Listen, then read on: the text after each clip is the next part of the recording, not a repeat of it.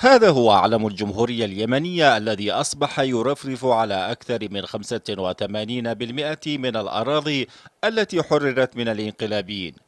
جيش وطني يتصدر كل البطولات في الميدان بدعم ومساندة من قوات التحالف العربي لاستعادة الشرعية وإعادة الحق لأهله. فكانت عاصفة الحزم التي لبت نداء الرئيس اليمني عبد رب منصور هادي من أجل رفع الضيم عن الشعب الذي تكالبت عليه ميليشيا الانقلاب وصالح المدعومة من إيران الرامية لزعزعة الأمن والاستقرار في اليمن والمنطقة فقطعت أوصالها وتبخرت أحلامها.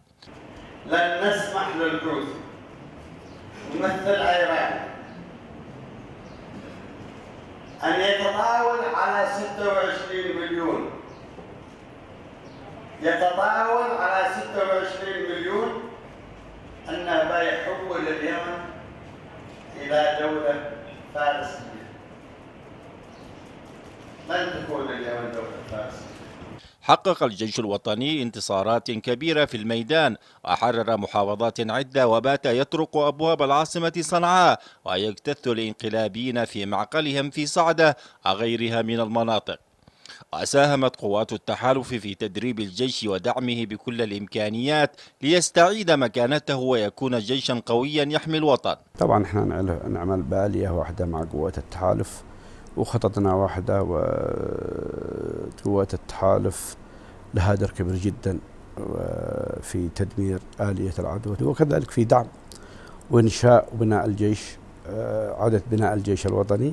عاثت الميليشيا الانقلابية في اليمن انتهاكات وأكثرت فيها الفساد ارتكبت أفظع الجرائم بحق اليمنيين في العديد من المحافظات فشرعت في القتل والتدمير ونهب الممتلكات وتفجير البيوت والمساجد وزرعت الألغام في كل مكان التي حصدت أرواح آلاف الأبرياء ارتكبت كل المحرمات بحق الشعب. ورغم دعوة المجتمع الدولي المتكررة لميليشيا الانقلاب وصالح في الانخراط للحوار والسلم وتجنيب البلاد الدمار إلا أن الانقلابيين أصروا على الاستمرار في حماقاتهم وإشعال فتيل الحرب وتدمير البنية التحتية.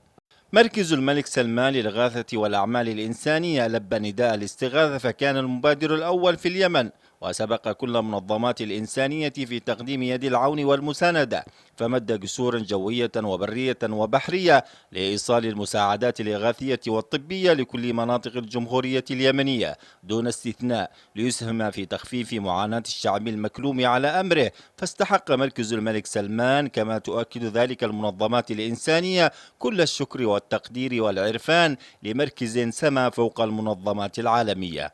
عبد الفتاح غلاب الإخبارية.